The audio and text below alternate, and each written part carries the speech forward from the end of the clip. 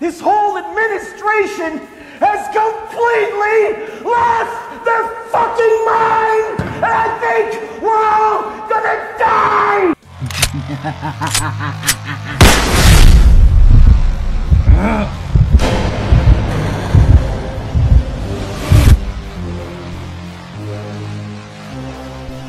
So we got some more Batman Part 2 rumors. And again, these are rumors, speculation.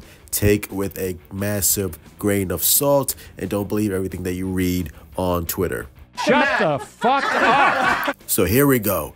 The Joker will play a similar role to Hannibal Lecter and will provide information to Batman. Now, we saw this in the Batman deleted scene where we saw that great back and forth with Barry Keoghan and Robert Pattinson. I really liked Barry's performance in that scene. He was really playing up the the sinister nature and intelligence of the Joker, which we really don't see often on, especially when it comes to you know theatrical films. So, and I love the fact that Barry Keoghan was playing that up, and hopefully they continue that uh, that uh, side of Joker a, a bit more for part two. Hopefully they also downplay the makeup because I don't like the makeup. It's not scary. It's not scary. It just looks weird. It looks dumb. So hopefully you know they tone it down a bit.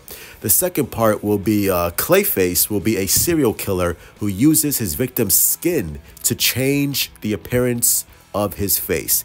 Now, this is weird because this sounds a lot like Hush. This is something Hush would do, especially if you played the Batman Arkham City games where he would literally like stitch people's faces, other people's faces onto his face, you know, to obviously look like that person.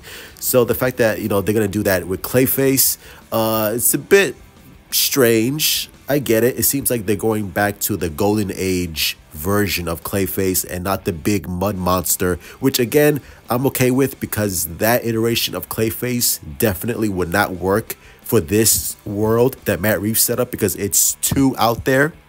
It's too comic booky. Like Clayface, the Mud Monster, that would work for the DCU James Gunn because that version and that world is going to be much more fantastical, you know, rather than this Zodiac killer fucking uh, real world take on the Batman. So I get it here. So I like that. Um, also, the final thing is there will be uh, more action sequences than the first movie, which, okay, I get it. Because I, I know, uh, especially with myself and some other people, you know, the, one of the criticisms was it's a very slow film. It's a very detective noir film, which, again, I understand. But hopefully for the sequel, like, like you can have both, right? It, it doesn't have to be one or the other. Like, you can still have that story driven uh, noir take on Batman, but also amp up the action a bit so you can please both sides. So, two things are possible at once, people, believe it or not.